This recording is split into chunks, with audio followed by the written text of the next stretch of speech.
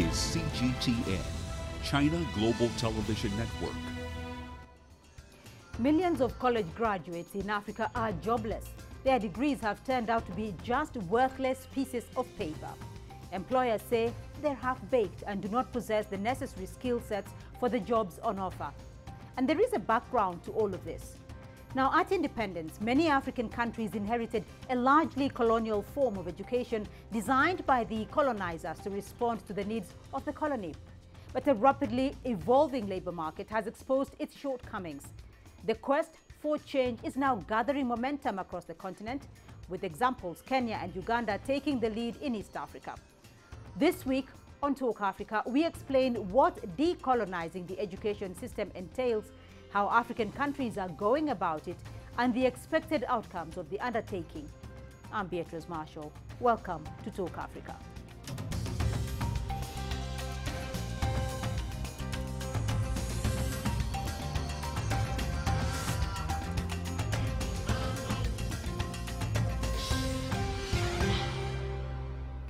Well, Kenya is overhauling its education system to empower learners to have more practical skills that will help them when they start working. It's adopting a competency-based curriculum tailored to tap into the individual strengths and talents of learners to boost their mastery of the skills required in the labor market. But as CGTN's Nick Mudimba now tells us, the Kenyan education experts are divided over the new curriculum's suitability. Let's take a listen. Kenya is rolling out its competency-based curriculum that aims to have a holistic learner who can fit well into the job market. At a private primary school in Nairobi, a CBC class is underway. The pupils are taken through lessons. It's a mix from making beads, learning mathematics, and even playing music. Teachers have the tough task of ensuring the new system is properly rolled out. It is a beautiful thing, only that uh, if I were in a position, I would say let the teacher facilitate, let the teacher be supported, especially in terms of uh, making the materials, because it is over overwhelming. The competency-based curriculum has made Kenyan parents to be closer to their children than ever before. This is due to the hands-on situation that are given by the teachers from school. For now, they're hoping that it will change the perception of so many learners compared to the 844, which is mainly writing notes, dictating, and of course, cramming for exams. Education experts, however, have some reservations about the competency-based curriculum. The introduction of CBC um, was, you know, fulfilling a national desire to change what was on offer in education because there was a mismatch, an apparent mismatch, which may be true or not true about what 844 was producing and what industry required. So in the process of changing, CBC was settled upon as a mode of instruction, but the problem came in because nobody explained to the nation why CBC, because there are so many other models. Why did we settle on this? The biggest question that has never been answered up to now is a design question. What is the philosophy of CBC? What is CBC founded on? Janet Mumbi is a career woman and a mother of three pupils who are all learning under the new curriculum. She spends eight hours at work every weekday. In the evening, she helps her children do their homework. The, the child does not miss out on anything. When we come to these subjects like the arts and, the, and um, music, where the home science, they're not just doing a lot of uh, notes, it's also the practical part of it. So I think a child has, and you know, once you do an activity, you don't forget. There's the learning, there's the cooking, there's the planting of things, which before would just learn types of plants and all that, but now they're actually doing it. And there's, when you do it, when there's, applica there's the application part, there's a chance that that child will never forget, and they relate with it. And I think that is something that CBC is trying to, to make sure that the children understand, not just reading about it, but they actually practice it. For Mumbi, she hopes the new curriculum will continue sharpening her children's prowess so that in the future they feed into the demands of the ever competitive changing world. Nick Mudimba, CGTN, Nairobi.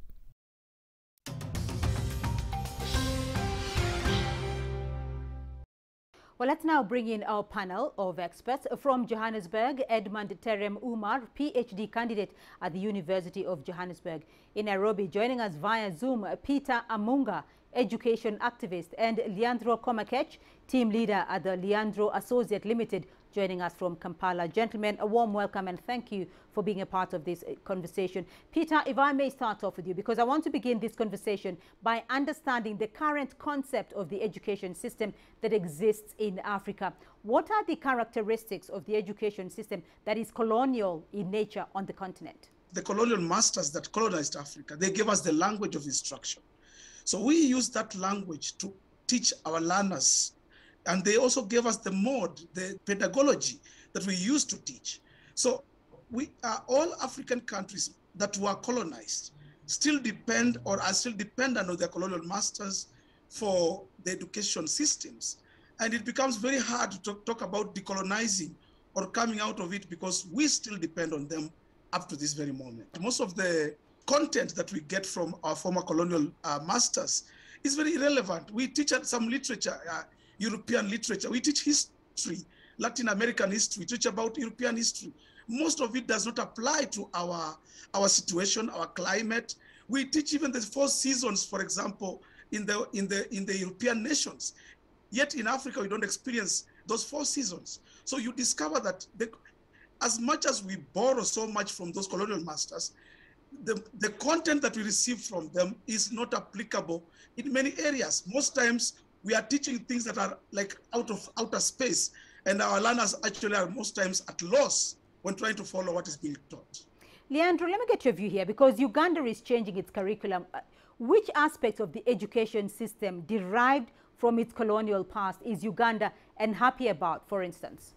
Coloniality in its uh, entire package was all about subjugation. And subjugation was about making sure that our minds were taken over by other people. And therefore, out of that is when we began to accept that it is good to have uh, an education system that is foreign, and yet we think it is good for us. And so, from that basis, is, is when we, we went deep into the, into the poisoning of, of the African mind and in believing that anything indigenous, whether in knowledge or any context of culture and everything else, was completely useless.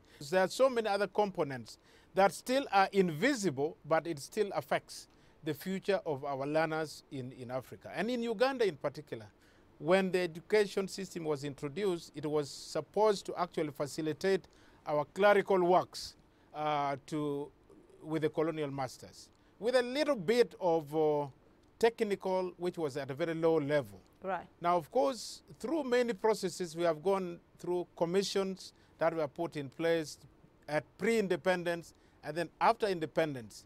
We then took on the process where we took too much of, uh, of the teaching that produced uh, white collar uh, jobs as opposed to blue collar. So at the end of the day, we find ourselves in a catch 22 where the number of those that have gone through these processes cannot fit what is legitimately required in the market. All right. And that is why Uganda, actually in 1989, I went through to change its uh, education system by launching the first paper that was called the, the Kajubi Report of 1989 that brought in place many changes in education system.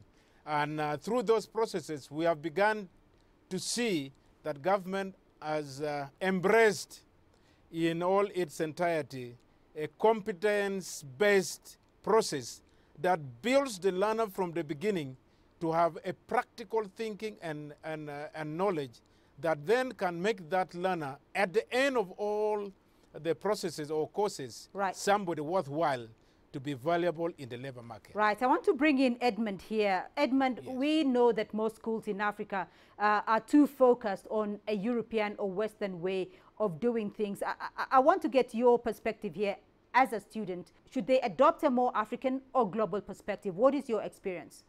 Yes, uh, it is my contention that uh, the harm has already been done. But we must also realize that we live in a global community and globalization is taking shape in Africa. Right. And because globali globalization is taking shape in Africa, there is a transfer of values, transfer of, um, of educational values, and so on. So it is my contention that as if we want to have a more pragmatic, um, decolonized educational system, then we should adopt a, a, certain form of what I would want to call a global decolonization. And here, the global decolonization that I want to think here is that um, everyone should take part in this decolonization process, both the West, the, uh, the East, and let's say sub-Saharan Africa and the northern part of Africa.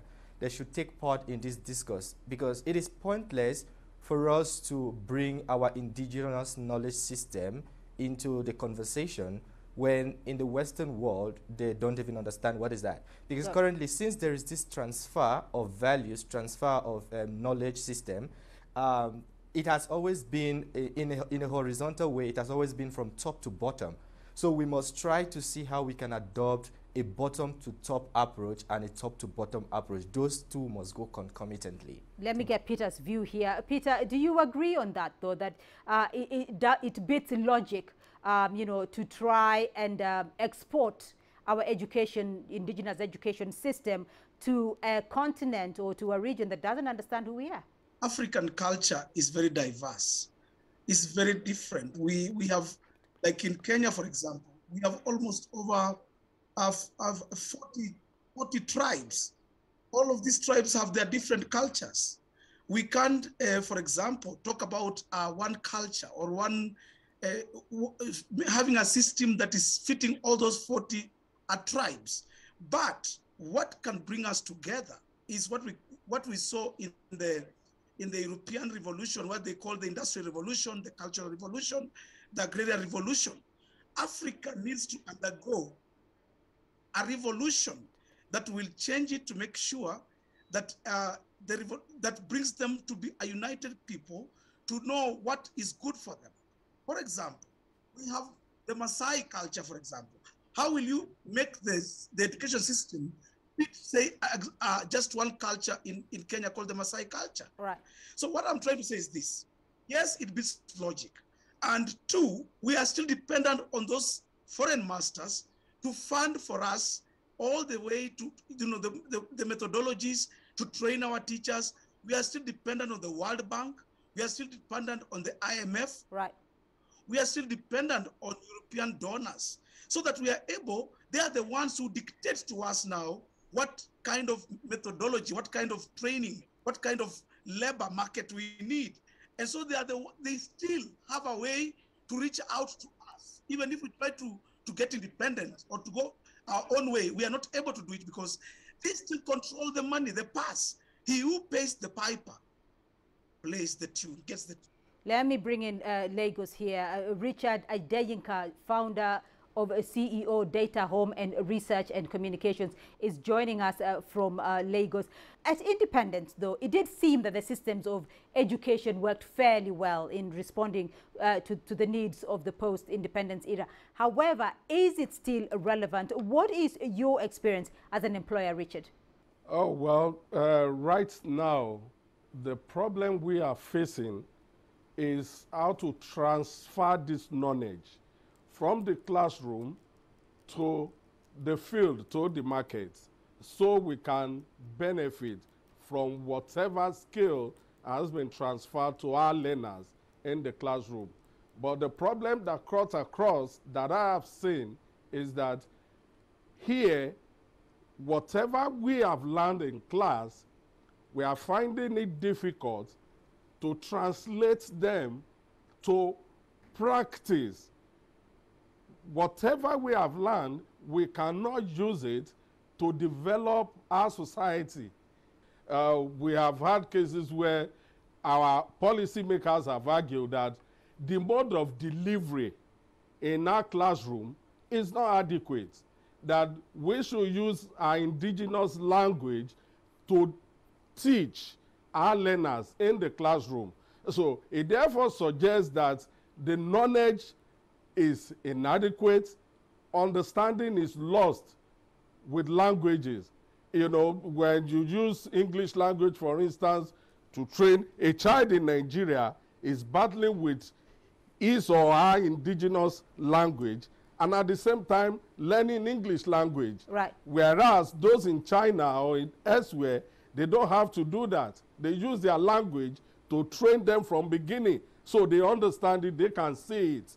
Now, in our own case, we are battling with language issue and then the person that is transferring the knowledge is also using the same language. Sometimes this, the understanding of the language through which the knowledge is delivered is not adequate. Right. And meaning is lost in the process of transferring this knowledge to our learners. Leandro, let me get your perspective here because we are seeing African countries like Kenya and Uganda undertaking review of their curriculum structures. Why are these countries seeing a need to change their systems 60 years after independence? Have the systems, uh, you know, have Africa's education systems failed to evolve? The challenge here is while we evolve to get into a better space, we need to understand our philosophy of education. Are we producing, uh, are we producing just for the sake, or we have an objective that is tailored to the market at present in Africa? That is what is very key in shaping our, our education and in ensuring that when we deliver the curricula that matters, then at the end of the day, we see the youth of Africa becoming competent in the world market. And I think that is very, very important because we need a human resource constituency that can have uh, employability, not only in Africa, but in the world stage. And, and Right. that is uh, the challenge we have to grapple with. Of course, notwithstanding the issue of uh, coloniality, decoloniality is, is quite an important area that we need to guard Right. uh, well. That while we do it, we can pick some of the positive values that uh, we, we, we got along and then add on to our worldview, our African values that are imperatively important in the growth of the, the human potential in Africa. And I All think right. this is very key as we develop through, though we have taken long to do that. All right, gentlemen, we're going to leave it there for the moment. We'll take a short break. And when we come back, we will look at whether the current education systems in Africa are meeting the demands of the job market and the changing global labor dynamics. Stay with us.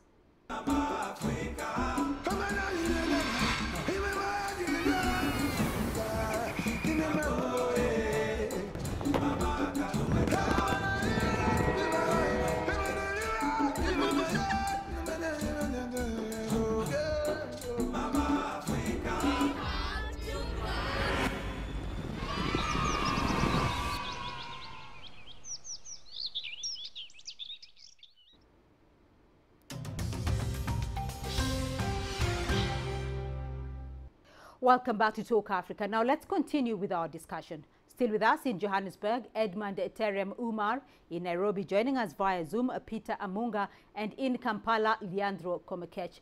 Peter, let me start off with you now. How would African countries, though, undertake the task of uh, changing a curriculum? Is it a reality that can be achieved on the continent, given the fact that it has been the same curriculum that has existed in many countries uh, for about 60 years? Curriculum implementation depends on also political goodwill. It also depends on the peace prevailing in the country, the leadership of the country, the economy of the country. The competence-based curriculum that we are trying to introduce in most of our African countries is a very good curriculum. The problem we are having is that we are not able to carry out the proper implementation plan, the pilot stage, the research stage, and all these stages are not being followed. Many times we have got political leaders in our countries who some of them want to leave behind a legacy. And so they rush it up. Now, curriculum implementation does not need rushing. Right. It needs proper planning. And that is what we are lacking. Quality education is made up of three things. Quality teachers, they must first be trained properly and trained to deliver that curriculum. Quality tools, we must have the tools to deliver a curriculum, a quality education. And most times in Africa, we don't have those tools.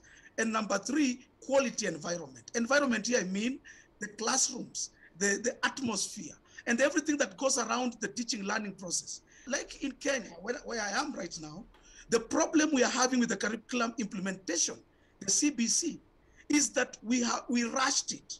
We tried to please some political leaders, and because of that, we lost it. We may have to start afresh so that we can get it properly. Because our technology and our skills are different from what people maybe in China, maybe in Japan, maybe in Finland want. Uh, if we could tailor to fit our specific needs All right. as Africa, would be better. All right. Edmund, let me get your thinking here in terms of the objective um, of the education system. Are we just, um, you know, as Leandro is putting it, are we just producing uh, students for the sake of it, or do we actually have an objective today in the same vein as the colonialists had an objective with their education system? The, the objective here for this their educational system is, uh, is to ensure that they feed Africans with with knowledge because Africans are unable to produce knowledge for themselves. So now we need to reorient ourselves about that. And how can we reorient ourselves about that? There are certain things, there are certain values that we can pick when uh, when we go back to pre-colonial society. And one of some of the values, the educational values, is the ability of, um, of acquiring skills for ourselves. But currently, with our educational system, i- i- it's just like, like, uh, like the earlier speaker had said, um, I think at the beginning, it's just about coming to classroom, um, feeding yourself with this information that you can't even, you don't even understand the relevance of this information. So, and as a result of that, this also affects the, uh, the employment market because now you just have a group of people who just know how you can put X and Y right. to form Z, but uh, they don't even know how to apply those concepts in, in, in the real world. And, and that is very problematic. So our educational objective has to be in pragmatic. You know, it, it, it's more theoretical than pragmatic. So everybody just has these theoretical concepts about things, but the application of these theories become problematic. So, Leandro, let me get your thoughts here. Which areas, because you're undertaking a curriculum review, which areas of the education system do you think requires a decolonizing approach? Uh, the teaching of history has been one of the greatest challenge where we have emphasized uh, European teaching. But you find that the content of the history of Uganda is uh, flooded with uh, uh, European explorers. The first man to, to the first white man to see Lake Victoria, the first white man to see Mount Elgon, the first white man to see where, the first one to see the longest river. Now, is that one something that can be taught to an African young child that, that is growing in the country that should understand what is within the country? So I think this is where we need to have a radical change in, in terms of uh, teaching our local history. Because I was amazed in in United States. Uh, they do not teach uh, any history of, of any other continent apart from Western Europe and America. And actually, when they ask you, you said, we, we only know about uh, the Suez Canal and, the, and Egypt. That is the Right. history that uh, a student will competently tell you. But for us here, geography, we learn the entire world geography. We come to Uganda, but the, the, the geography of East Africa, you find it is very narrow. So those are areas of changes that we require to bring an young African intellectual that understands and has a world view of where he or she is standing from. All right, I want to get your final comment, and I'll start off with you, uh, Leandro. You know, the world being global, there are many things universal about education and education systems, and possibly some best practices that uh, cut across the board. What should these uh, that should be? What are those that can be retained, even while considering changing the education system? Because not all of it is bad, clearly from this discussion. The world has moved. Africa has remained behind. There are many challenges we need to catch up with. So, so what is the Africa we want? What is it that we need to produce in terms of human resource that would fit the next century? And, and therefore, that now brings to us the challenges of, of reviewing these processes. And therefore, decolonization becomes the, the fulcrum or the common denom- denominator in determining how uh, we dovetail all these other interests. So, so for me, while I agree well, my colleague talked about science, Well, we, we, we need to decolonize science, but the teaching of science uh, in, uh, in our schools in Africa, I think, has been uh, very problematic. If you look at what is required, and that now goes back to individual governments in Africa. What are our priorities in terms of how the tools for processing these knowledges are concerned? I've seen in my primary school when I grew up, I started primary one, it was hard to learn because sometimes many kids were writing on the floor, you know, from the village schools. So what is the infrastructure that can facilitate this process? While we talk about the theory, I think the African governments have the greatest challenge in ensuring that our budgetary priorities must as well begin to shift because this is at the core of transforming the future of Africa. And it will require a very expensive exercise that would uh, need an input in injecting more in our annual budgets in across Africa. And therefore, it is an holistic approach we, we, we, need to look at and very deliberate. Because when we say we, we would need to decolonize our education, and yet we think by reviewing and not understanding through our deliberate consciousness of what decolonizing means, then we shall get results wrong. So for me, I agree we have a long journey to walk, but we must also see from where my colleague in, uh, from South Africa stated that actually the issue about coloniality was all about conquest, domination, and getting resources. But Africa is very rich. How do we use our internal African resources to build a capacity and momentum to energize the education sector that is Afro-based, but with a world understanding that we can deploy our human resources in the world market.